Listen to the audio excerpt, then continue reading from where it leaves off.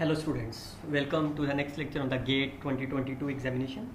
Today we will discuss about the question number 27 related to this normal distribution or the sum of them.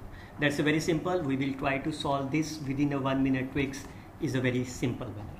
You can simply follow my telegram channel links or else you can simply follow my YouTube channel where you can find the various previous year videos related to this GATE statistics examination. So let's start with this question. Firstly, we will try to read this question. Xi will follows the normal distribution whose mean is 1 and therefore and it is given to you IID. And Sn is given to be here and you have to find this. What is the meaning of that? That's a very simple task. Firstly, we will try to find the variance of expected value of this. So what is that? This is my E of x1 square plus E of x2 square. So I can write this value as of here because they are IID so the means and variances are always same. So what is the value of the E of x1 square? We know the variance of xy, xi is my 4. I can apply the definition of the variance here minus ex whole square. So what is the answer of the E of xi square? That is nothing but my 5. So therefore this number is my 5. So it's a 5n. So this number is my 5n. How you find the variance of Sn. How you find the variance of Sn? Again, because they are independent as well as identical, we can write the variance of xi square. Now, we can apply the variance of xi square.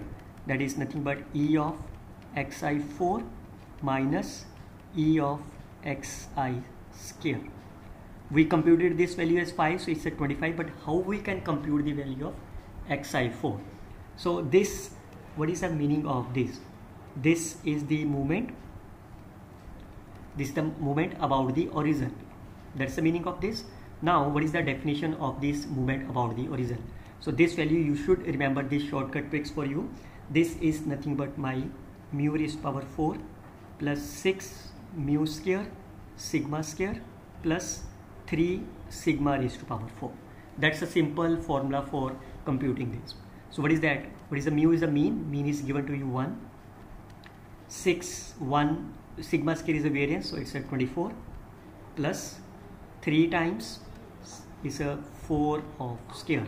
So it's what is that? It's a 25 plus 48, that's a 73. So I can substitute here 73 of here. So 78 minus 25. So that will be my 53. Fine. So once is my sorry it's a 73 so it is my 73 so what is that? This is my 8 is a 48 so I can substitute this value this. So what is that? Oh sorry this is my 48 of n. So 48 upon n is n is 48 5n upon n 5 will be cancelled out is at 25 so the right answer is my 23 is the right answer. That's a very simple shortcut tricks for you. You just remember this this formula that is for the shortcut tricks for here. That is the expected values about the movement at power 4 so that's a simple idea behind these questions. We will see some another questions related to question number 28 onwards in our next lectures.